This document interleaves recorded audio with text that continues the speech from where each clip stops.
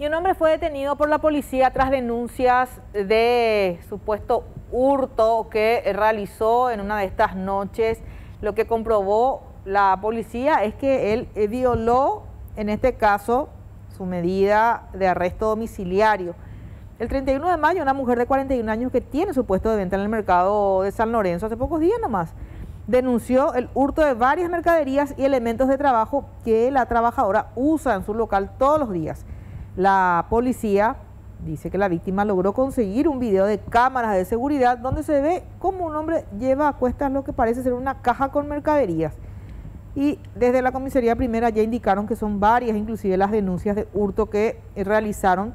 Y tras un control realizado en la tarde del miércoles lograron identificar a este hombre, un sujeto de 28 años que estaba circulando en las inmediaciones del mercado y estaba incumpliendo su arresto domiciliario.